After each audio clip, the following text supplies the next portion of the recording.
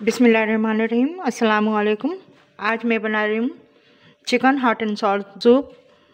उसके लिए मैंने लिया है एक पाव चिकन और ये मैंने कढ़ाई चूल्हे पर रख दी है चार गिलास पानी डालकर।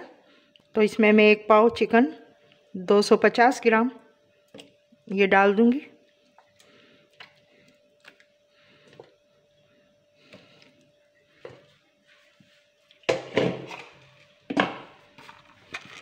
तीन जवे मैंने लहसन के लिए हैं, ये डाल दूँगी। दालचीनी के पीस हैं ये। बड़ी इलायची एक। चंद काली मिर्चें हैं। ये डालकर और नमक डाल दूँगी। और ये डालकर मैं ये चिकन को गला लूँगी। तो यखनी हो गई है तैयार। मैंने चिकन निकाल लिया है। चिकन निकाल कर पीसीस बना लिए हैं। छोटा छोटा तो मैं वो डाल रही हूँ। इस तरह से मैंने बना लिया है, कर लिया है इसको, चिकन को।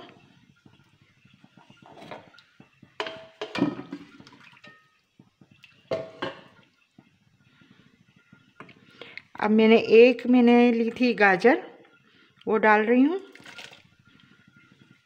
एक ली थी मैंने शिमला मिर्च।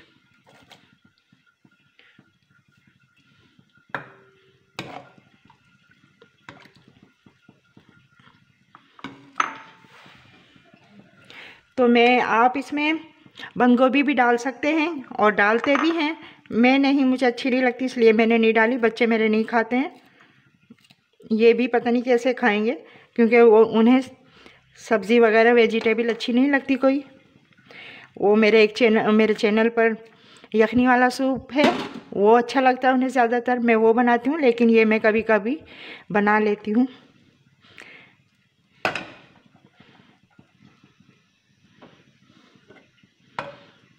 ये मैं पाँच मिनट तक इसको पकाऊँगी थोड़ा। सब्ज़ी पक जाए। नमक मैंने डाल दिया था उस वक्त। अगर कम या लगे तो आप अपनी टेस्ट के मुताबिक डाल सकते हैं और इस वक्त यह हाफ़ टी स्पून मैं डाल रही हूँ ब्लैक पेपर, काली मिर्च, ये। ये भी हम कम ज़्यादा कर सकते हैं मिर्च को, क्योंकि अभी हम चिली सॉस डालेंगे और सोया सॉस डालेंगे तो उनमें नमक होता है।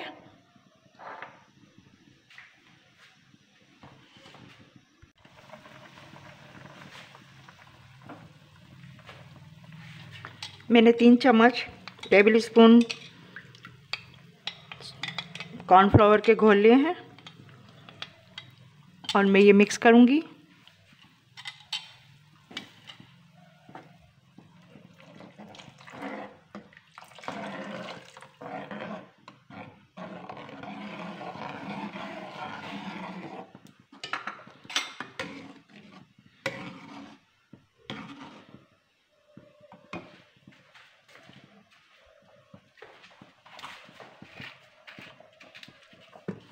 दो टेबल स्पून के करीब मैं डालूँगी। सोया सॉस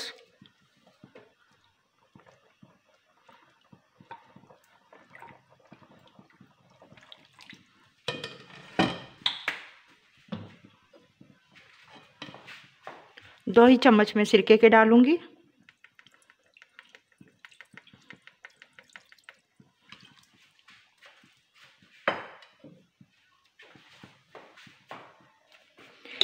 एक चम्मच में डालूँगी चिली सॉस।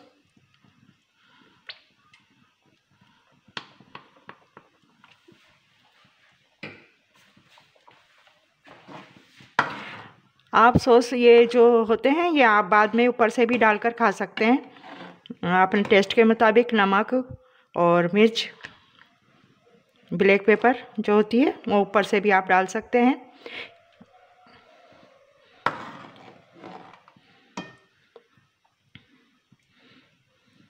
इस टाइम अब ये तैयार हो चुका है, आँच मैं बिल्कुल हल्की कर दूँगी और एक अंडा फेंट कर इसमें डाल दूँगी।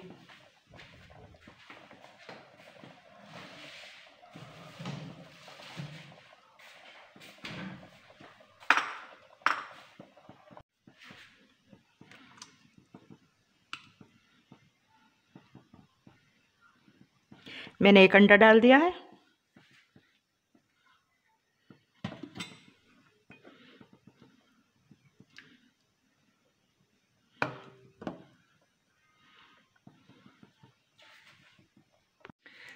तो सूप हो गया है तैयार। ये देखें, ये अंडे की ये नज़र आ रहा है तो ये इस तरह नज़र ज़्यादा फेंटे नहीं इसमें।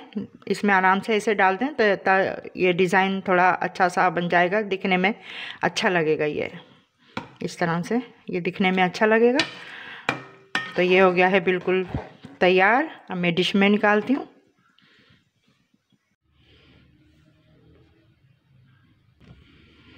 तो हमारा सूप बनकर हो गया है तैयार, बहुत आसानी से और बहुत झटपट। आप सर्दियाँ हैं, आप ये आप खुद भी पिएँ और बच्चों को भी पिलाएँ, बहुत फ़ायदेमंद होगा। तो हम किसी और रेसिपी में मिलेंगे। अल्लाह हाफिज़।